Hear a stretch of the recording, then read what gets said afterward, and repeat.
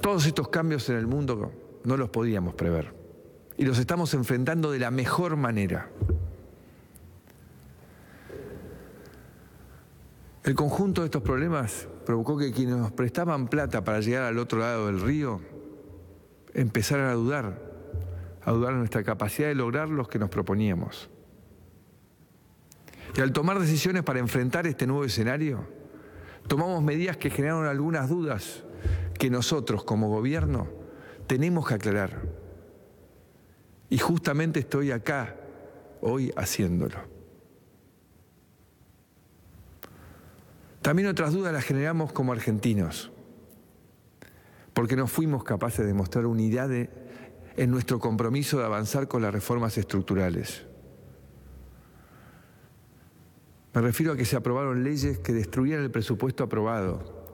Y eso obviamente generó un impacto negativo un impacto que aumenta la percepción de riesgo de la Argentina. Y el dólar empezó a subir. Ante esta situación reaccionamos rápido.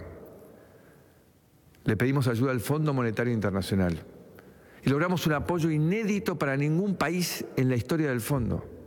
Inédito, por el monto, la rapidez y por las condiciones que conseguimos.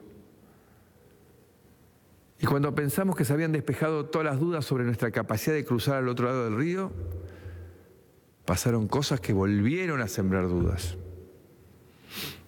Una fueron los problemas de Turquía y sobre todo en Brasil. Y la otra es el escándalo de los cuadernos, que sin duda constituyen un antes y un después para terminar con la corrupción que tanta pobreza nos ha traído. Pero en el corto plazo el corto plazo afecta la imagen del país y genera más dudas sobre nuestra capacidad de conducirnos con seriedad.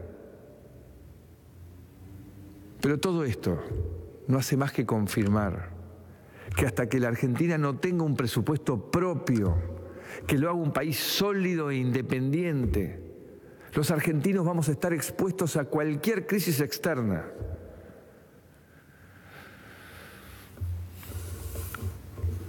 Conociendo este panorama, llamamos al fondo y les explicamos la nueva situación. Y el fondo accedió a hacer un nuevo plan. Hoy, nuestro equipo viaja para allá para tratar de llegar a un acuerdo lo antes posible. Estamos viendo los detalles técnicos que van a estar listos en días. Y esto va a permitir despejar definitivamente cualquier duda sobre nuestro financiamiento en 2019. Lo que tenemos que enfrentar es un problema de base que es no gastar más de lo que tenemos.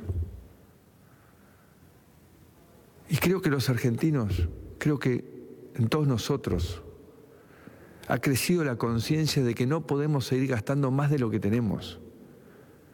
Vivir por arriba de nuestros ingresos. Y mucho menos convivir con la corrupción.